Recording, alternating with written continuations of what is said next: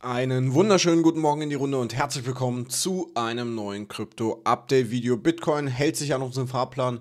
Wir haben zwar gestern nochmal einen Pump gesehen, bis auf knapp, wenn wir mal richtig gucken, hier 70.770 US-Dollar. Daraufhin hat aber unsere Box reagiert. Wir hatten keinen Close über unserer grünen Box. Darüber haben wir gestern Morgen gesprochen. Also auch perfekten Short-Entry bekommen.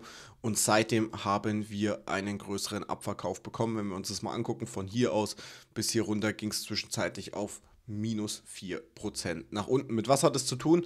Das werden wir uns auf jeden Fall gleich im heutigen Update-Video anschauen. Außerdem natürlich auch Ethereum.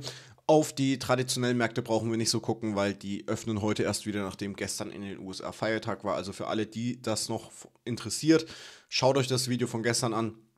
Da haben wir alles besprochen. So, bevor wir aber starten, lasst dem Video gerne ein Like da, abonniert den Kanal, wenn ihr es noch nicht gemacht habt und natürlich gerne in die kostenlose Telegram, Talk und Signalgruppe reinschauen.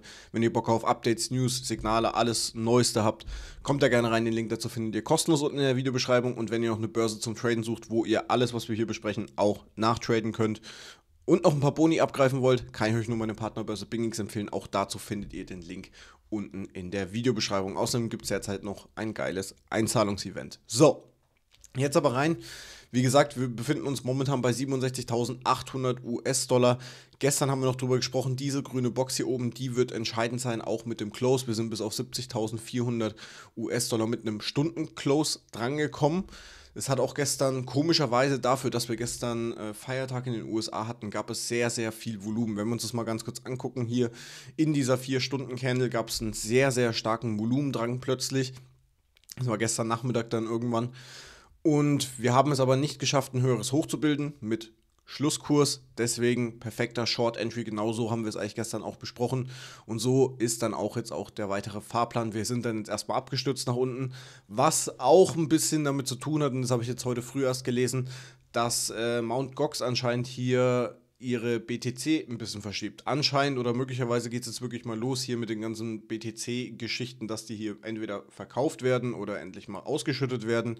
Aber das ist ja so ein Ding, was schon seit Jahren immer mal wieder im Gespräch ist, könnte jetzt aber dazu genutzt werden, um, sage ich mal, diese Range, über die wir gestern ja schon gesprochen haben, über, über, über unsere übergeordnete Range, noch einmal nach unten hin zu drücken. Das heißt, dass wir nochmal in Richtung 63k gehen, wo wir ja gestern drüber gesprochen haben, oder sogar noch einmal in Richtung 60.000 US-Dollar. Also das könnte jetzt alles hier für ein guter Impuls werden. Ich bin auf jeden Fall jetzt Short seit gestern und überlege aber nochmal einen kleinen Hedge Long aufzumachen. Wieso? Weil wir hier in diesem Bereich, da haben wir auch gestern mal äh, drüber gesprochen, äh, unsere 1 Stunden Demand-Zone haben, beziehungsweise hier drunter mehrere Demand-Zonen haben, die halten könnten. Und dadurch, dass wir jetzt eben diese Short-Position offen haben, könnten wir hier darüber nachdenken, ob wir hier so eine kleine Hedge-Position aufmachen. Das heißt, ich mache jetzt mal hier ganz kurz diesen Fahrplan hier weg dass wir jetzt in den nächsten Stunden hier noch ein bisschen runter konsolidieren, möglicherweise sogar noch mal ein bisschen tiefer gehen, in Richtung 67.100. Dann noch einmal hochgehen in Richtung Pivot bei 69.300 US-Dollar und wenn wir diesen negativen Retest bekommen, dass wir dann eben erst diesen größeren Abverkauf bekommen. Also das ist jetzt mal so der grobe Fahrplan für heute, weil interessanterweise haben wir gestern hier an diesem Pivot bei 69.300 eben erst einmal Support gefunden. Das heißt, wir sind hier erstmal abgestürzt, haben Support gefunden, zwei Stunden Candles sind dann nochmal hochgegangen in Richtung 69.900 US-Dollar und dann sind wir gnadenlos durchgefallen. Also es würde meiner Meinung nach sogar sehr viel Sinn machen, hier nochmal diesen Pivot Point zu testen, jetzt in den letzten Tagen des Mais. Außerdem haben wir hier das 05er bzw. das Golden Pocket auch noch in der Nähe, was dazu verleiten würde, hier nochmal so einen kleinen Retest irgendwo in dieser Area zu machen. Ähm, zur Short-Geschichte noch, ich habe mittlerweile schon drei Take-Profits genommen, also ihr könnt jetzt auch einfach Profite nehmen oder nehmt 50% Profite, wie ihr Bock habt. Aber ähm, ich würde jetzt hier nicht drauf spekulieren, dass wir jetzt noch den nächsten, äh, ja, Tiefpunkt hier erstmal sehen. Sollten wir hier nochmal hochkommen in Richtung 69.500, 69.600 oder Pivot, würde ich die Position nochmal verdoppeln. Gehen wir eben hier jetzt nochmal runter in diese Zone zwischen 67.500 und 66.900 US-Dollar, dann würde ich auf jeden Fall nochmal eine Long-Position eröffnen. Stop-Loss ist hier meiner Meinung nach sehr, sehr schwer. Ich würde es zwischen diese zwei, ja, zwischen diese zwei Wicks hier unten machen. Brandgefährlich.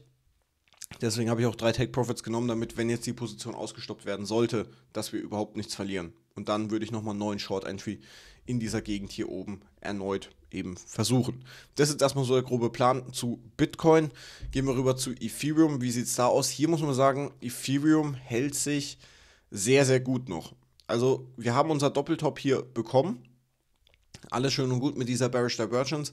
Wir sind aber nicht mehr hier hochgekommen in diesem Preisbereich, wo ich eigentlich rein wollte, auf diese 4080 Dollar. Wäre vielleicht die Hoffnung heute noch, wenn sich Bitcoin ein bisschen erholt, nochmal in 69.000er, 300er Bereich kommt, dass wir bei Ethereum auch nochmal eine kleinere Erholung sehen nach oben, nachdem wir hier nicht so abgestürzt sind.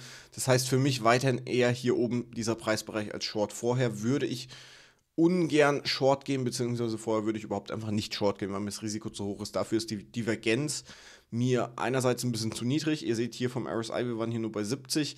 Vorher waren wir hier bei 90 im RSI, natürlich auch mit diesem Pump durch die ETF-News und sowas. Da wäre ich ehrlich gesagt etwas vorsichtiger und würde dieses Risiko derzeit nicht eingehen. Dann eher hier unten dann irgendwann mal warten, dass wir hier unseren Long-Einstieg irgendwie reinbekommen. Ansonsten hat sich hier nichts geändert. Gehen wir rüber zu Gold. Auch hier keine Änderung. Ich warte hier weiterhin unten auf den Long Entry oder beziehungsweise hier oben nochmal auf den Short Entry bei 2400 US-Dollar. Ansonsten, wie gesagt, äh, Forex und Ding hat sich wenig getan. Wir können trotzdem nochmal ganz kurz auf den äh, Euro gucken, ob sich da ein bisschen mehr getan hat. Aber auch hier befinden wir uns immer noch auf Fahrplan nach oben für unsere Short-Position. Das heißt, kurzes, knackiges Update mit den wichtigsten Sachen, wie wir weiter mit Bitcoin machen, worauf es bei Ethereum ankommt, Gold und Forex.